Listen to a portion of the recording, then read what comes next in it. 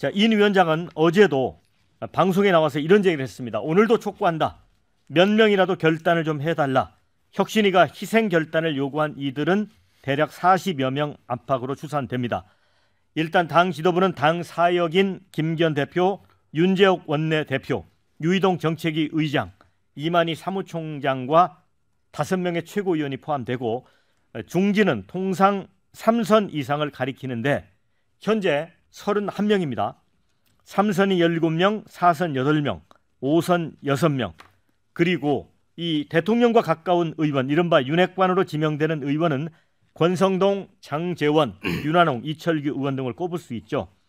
자, 그 가운데서도 지난 전당대회 때부터 이른바 김장 연대로 불렸던 친윤 핵심 김기현 대표 또 장기현 의원의 움직임을 주목하고 있습니다. 그런데 아직 아무런 반응이 없습니다. 자, 네 분은 이 혁신을 어떻게 보시는지 먼저 어, 우리 박원석 의원님 어떻게 보세요? 그러니까 공식적인 혁신 그 의안은 아닙니다.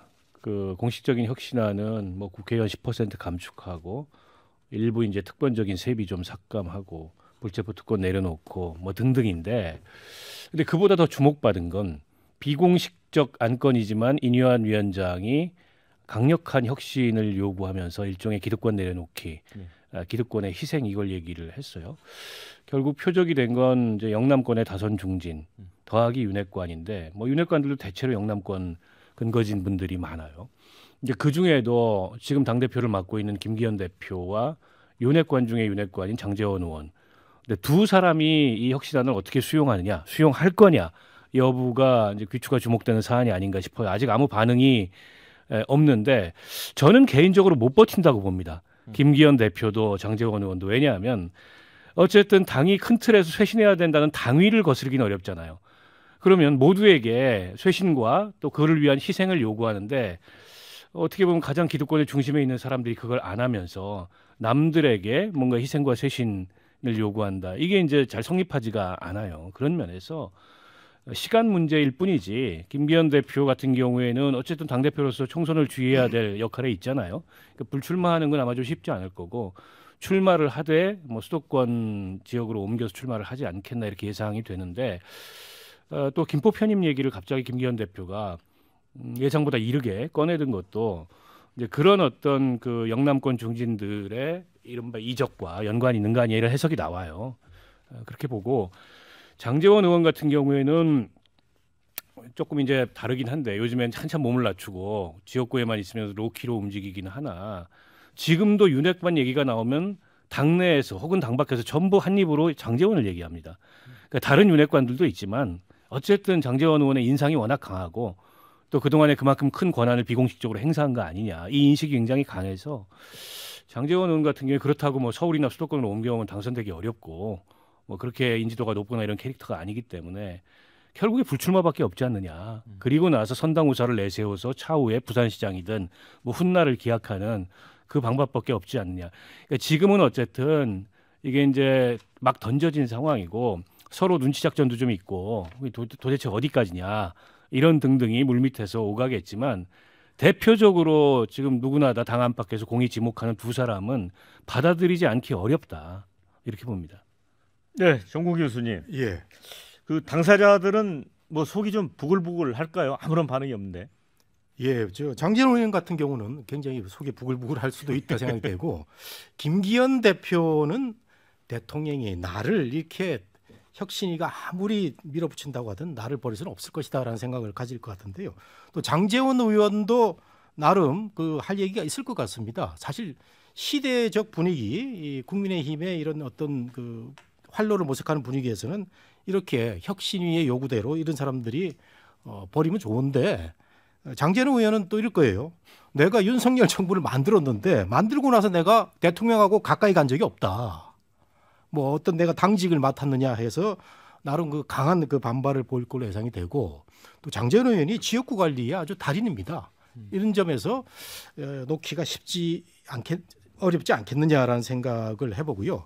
사실 대통령하고 가까운 의원이라고 인유한 위원장이 얘기를 했는데 가까운 의원은 제가 보기에는 김장이라는 이런 대표적인 사람들보다 저는 이철규 음. 그 물러나라고 그랬는데 다시 기용한 이 이철규 의원이 있고 그다음에 정무수석하고는 이진복 의원이 있거든요. 저는 이철규, 이진복 이런 사람들이 만일에 그 불출마한다 그러면 정말 진정성 있는 이런 그 국힘의 그 선거 대책이 될 걸로 보이는데 뭐 쉽지 않을 걸로 생각이 되고요. 제가 어제 그 인유한 위원장 종편에 나와서 단독 대담하는 걸 집에서 유심히 봤는데 이 인유한 위원장이 거의 정치 한 10단 정도 되는 것 같은 느낌을 받았습니다. 예. 내가 이렇게 개혁안을 밀어붙이긴 하지만 내가 뭐 이렇게 강요적으로 대통령하고 맞짱을 떠가지고 할 그런 사람은 아니다라는 걸 여러 번 강조를 했어요. 그리고 혁신위의 젊은 의원들이 강하게 요구하는 것을 내가 자제시키고 있다 이런 걸 봐서는 어, 원론적으로는 크게 에, 개혁안을 요구를 하는 것 같지만 이 디테일하게 굉장히 조심스럽게 가는 게 아닌가 싶어서 이 국힘의 이 공천 혁신 이 쉽지 않다 이렇게 생각이 됩니다. 네, 배종우 부위원장님, 그 나비 효과라는 게 있잖아요. 이게 뭐 남해당 얘기긴 하지만 민주당에도 조금 영향을 끼치지 않을까요? 이런 분위기가. 음, 민주당에 영향을 미칠 수밖에 없죠. 어, 왜냐하면은 어, 내년 4월 총선 같은 경우는 누가 혁신, 쇄신에 성공하느냐, 그래서 어, 국민의 마음을 잡느냐에 따라서 어, 승패가 달려 있거든요. 그래서 결국은 혁신 경쟁, 쇄신 경쟁에 이긴 정당이 저는 내년 총선에서 승리한다고 봅니다.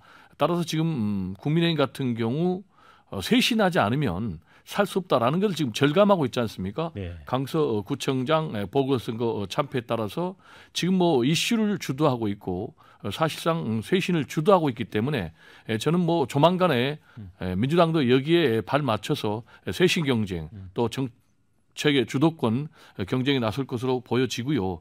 지금 한마디로 얘기하면 지금 인요한 에, 혁신이의 이런 에, 쇄신의 에, 그림들이 성공할 가능성이 있느냐 없느냐가 굉장히 높은 거 아니겠습니까? 저는 이 부분에는 성공할 가능성이 높다고 봅니다. 음. 그 이유는 예, 사전에 인용한 예, 혁신위원장을 발탁한 것 그리고 그 이후에 이런 그림들이 우연히 흘러갈까요? 저는 그렇게 생각을 안 합니다. 네. 철저하게 사전 시나리오가 준비돼 있다. 제가 생각하는 시나리오는 뭐냐면은 인용한 혁신위원장 같은 경우는 권한은 없거든요. 그래서 바람을 잡는 거예요. 예. 그래서 어, 지금 중진들 또 지도부들 윤핵관들 물러나라고 했지 않습니까? 근데 이게 권고 사항이기 때문에 구속력은 없는 거예요. 그러면은 두 번째로 김기현 대표 같은 경우는 사실상 본인이 이른바 험지라고 불리는 곳에 가도 승산이 있다 이렇게 생각할 수가 있어요. 대표적으로 김포 같은 경우에 나가면은 본인이 승산이 있다. 그러면 지금 상황에서 본인이 먼저 오케이 내가 내 기득권을 포기하겠다라고 나설 수가 있단 말이에요. 그럼 두 번째로 어떤 일이 벌어지느냐? 에, 본인이 에, 공심위 등을 통해서 에, 강제적으로 어, 제가 볼 때는 물갈이 할 수 있는 그런 힘이 생기는 거예요. 실제로 지금 보면은 이철규 전 사무총장 같은 경우에 에, 완전히 책임을 지고 물러났는데 다시 컴백을 했잖아요. 인재 영입위원장으로. 이 얘기는 뭐냐? 윤석열 대통령 또 대통령실에서 공천 개입을 하겠다는 거예요.